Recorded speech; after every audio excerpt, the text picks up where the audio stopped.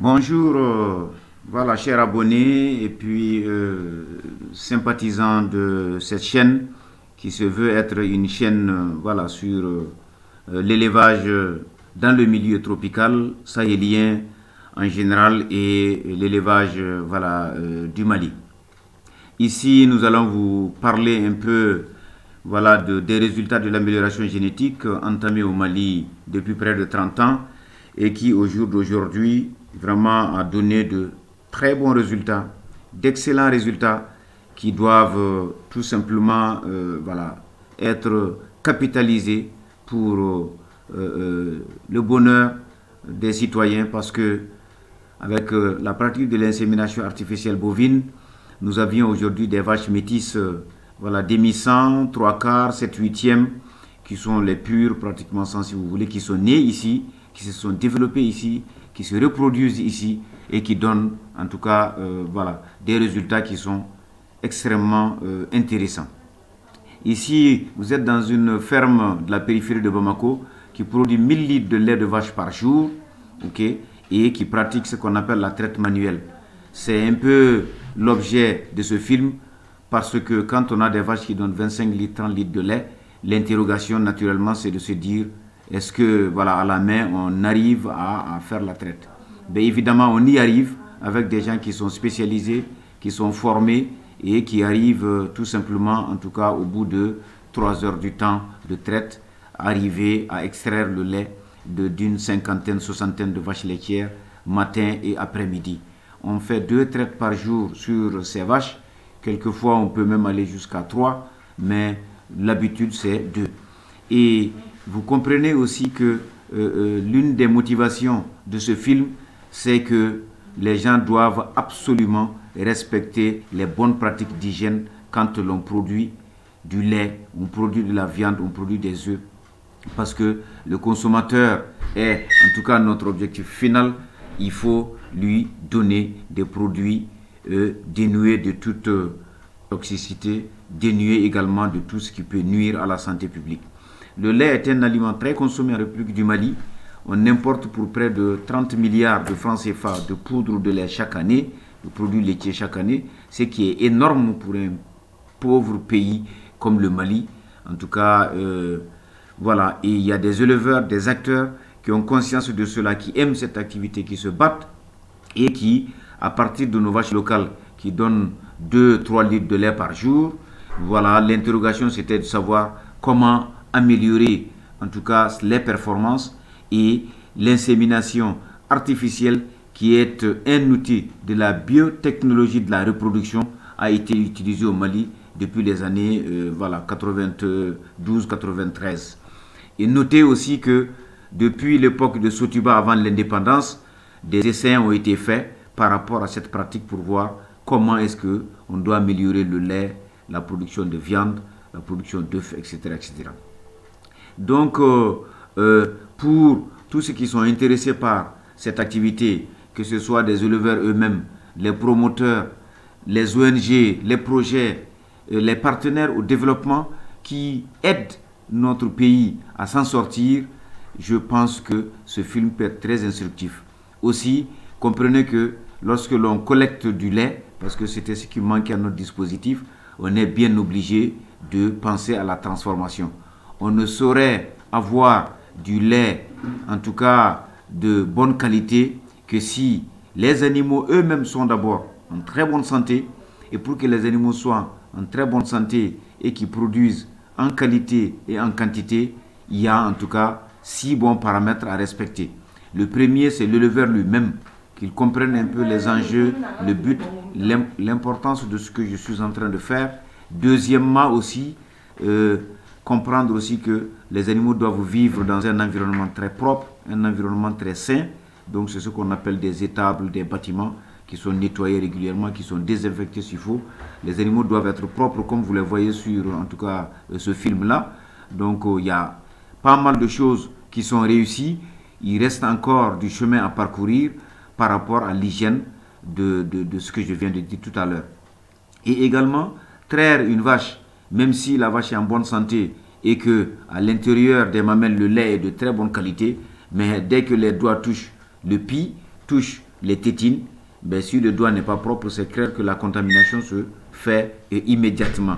Deuxièmement, les récipients que l'on utilise aussi pour traire le lait doivent être des récipients qui sont propres. On ne parlera pas de stérilisation ici, mais au moins de propriété. Et la propriété, c'est tout simplement en réalité le critère d'hygiène. Bien laver, bien nettoyer, utiliser en tout cas des produits, des bons désinfectants pour arriver tout simplement à avoir du matériel propre.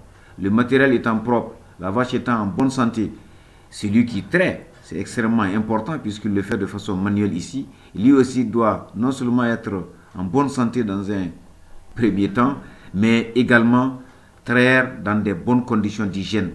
Les mamelles pouvant toucher le sol, la poussière pouvant également s'y déposer, il faut naturellement des serviettes qui sont propres pour pouvoir bien nettoyer les tétines avec une solution savonneuse propre avant de commencer à traire. Les mains doivent être propres. ok le berger, comme j'ai dit, le trayeur doit être en bonne santé et aussi, en tout cas, adopter une bonne position pour être capable tout simplement de traire tranquillement le lait. Vous voyez que le temps de traite ici, avec des vaches qui donnent 20-25 litres de lait, est quand même assez long. Il faut une bonne quinzaine de minutes pour réussir à le faire, alors que la machine voilà, est capable de le faire en 2-3 minutes tout simplement. Mais pour des commodités, pour euh, euh, euh, des raisons encore techniques, parce que les machines ont besoin d'électricité, je crois que le Mali est encore en tout cas à la traîne. Et ce dispositif manuel que je suis en train de vous montrer, c'est pour que vous-même vous fassiez une idée et du chemin qui nous reste à parcourir. On parle très souvent d'usine de lait, on veut transformer le lait, faire du fromage, faire du yaourt. Sachez que cela ne peut advenir que lorsque l'hygiène de la traite est respectée régulièrement, complètement et entièrement. Donc euh, ces trois termes qui sont très importants, ça veut dire qu'on le fait matin, on le fait le soir, et tout doit être propre, tout doit être tenu également, maintenu propre. Si on réussit à enjamber ces paramètres-là, le lait de la vache sortant était en tout cas très propre, ben le récipient lait, celui qui traite également lait, je crois qu'il n'y a pas de raison que le lait qui arrive dans le bidon ou dans le réservoir ne, le soit pas. Ensuite, euh, transporté vers les laiteries, il y a un certain nombre de tests obligatoires pour vérifier la qualité du lait. D'abord, la densité du lait avec un lactodensimètre, la température du lait, le pH du lait et ensuite ce qu'on appelle le test à l'alcool 68 degrés pour vérifier tout simplement le nombre de germes. Il n'y a pas de lait sans germes, hein. il y a tout le temps des cellules vivantes, il y a tout le temps des germes dans le lait. C'est lorsque la quantité dépasse euh, une certaine norme par millilitre de lait que le lait, en tout cas euh, la qualité du lait devient douteuse. Et avec l'alcool 68 degrés, si vous prenez 1 millilitre de lait plus 1 millilitre de l'alcool 68 degrés, vous mélangez, tout de suite vous avez des grumeaux qui se forment. L'alcool tuant les bactéries, ben voilà, si vous avez 200 000, 300 000, 500 000 bactéries par millilitre, c'est clair que vous allez avoir des grumeaux qui se forment tout de suite au contact de l'alcool. C'est des tests qui sont simples, que normalement, en tout cas, tout producteur de lait, comme le, monsieur que vous venez de voir, qui fait 1000 litres, 1000 litres de lait par jour, 5 fûts de lait par jour, c'est clair qu'il a absolument besoin d'instaurer ce genre de test dès la ferme, s'il veut vérifier la qualité de son lait. Donc, au départ de la ferme et à l'arrivée aussi, les mêmes tests seront faits. En ce moment, je crois que vraiment, on sait ce que l'on amène, on sait ce que l'on traite, on connaît également la qualité de la chose. Dans ce système laitier, on a beaucoup parlé d'hygiène. L'hygiène est un facteur extrêmement important, un facteur que l'on doit absolument maîtriser si l'on veut réussir dans la filière lait. Et ça ne peut aller sans de l'eau, sans de l'eau de bonne qualité, de l'eau également en tout cas qui n'apporte pas des germes. Et tout ce qui est savon, tout ce qui est détergent, tout ce qui est désinfectant aussi doit être maintenu dans un dispositif comme celui-là. Il n'y a pas de salle de traite dans ces films que vous voyez. En principe, on doit aménager un endroit qui est bétonné si possible, qui est carrelé, pour que à tout moment on puisse le nettoyer, on puisse le laver, on puisse le désinfecter également. Donc, vraiment, c'est pour dire à ceux qui veulent s'engager dans cette filière, c'est une filière qui est extrêmement rentable, c'est une filière au jour d'aujourd'hui, dans laquelle les gens produisent des millions de litres de lait. rien que la laiterie de Kassela, elle brasse 900 litres de lait chaque année. Donc euh, les producteurs de lait qui sont aux environs de Kassela, qui sont dans en tout cas toute la commune de Baguineda, peuvent très facilement venir déposer leur lait et sachez que le lait est un produit qui est acheté cash, qui est vendu également cash. Donc euh, c'est un marché de pratiquement 100 milliards de francs CFA par an et malheureusement le lait cru n'est pas collecté au niveau national parce qu'avec plus d'un milliard 600 millions de lait disponibles, je crois que la collecte n'arrive pas à dépasser euh, euh, les 2 millions de litres de lait. Donc encore un manque à gagner pour l'économie, un manque à gagner pour le développement du pays et c'est un secteur dans lequel tous les industriels qui sont intéressés par aider le Mali, par aider l'Afrique, par aider le Sahel, du Tchad jusqu'à Dakar, doivent s'investir. Et dans notre politique de développement, il n'y a pas de raison que l'on ne s'intéresse pas à ce créneau. Si on ne produit pas de lait, on va l'acheter. Parce que c'est rentré dans la consommation courante des Maliens. Surtout les Sahéliens ne peuvent vivre sans lait on est, on consomme du lait quand on est bébé, quand on grandit, et aussi dans la plupart des mets, en tout cas euh, succulents, que l'on offre euh, après le repas comme dessert, ben, ces mets contiennent tout simplement du lait. Et c'est un produit qui est périssable, qui, 4 heures après la traite, lorsque les conditions de conservation ne sont pas bonnes, c'est-à-dire que lorsque le lait n'est pas à 4 degrés, ben, il commence tout simplement à devenir aigre parce que vous avez des échanges, vous avez énormément de bactéries qui vont consommer le sucre. Quand le sucre disparaît dans le lait, le lait devient tout simplement aigre. C'est ce qu'on appelle le lait caillé. Il y a beaucoup de produits dérivés du lait cru, le lait caillé, le lait, en tout cas euh, euh, le fromage, les yaourts de toute nature avec euh, différents parfums que l'on peut associer.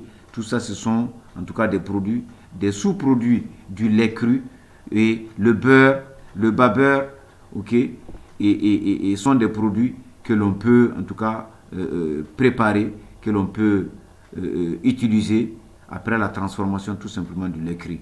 Donc c'est un appel aussi à l'ensemble de nos concitoyens qui sont quelquefois à l'extérieur, qui se disent dans, dans quel secteur je dois investir, ben venez investir tout simplement dans ce secteur d'élevage.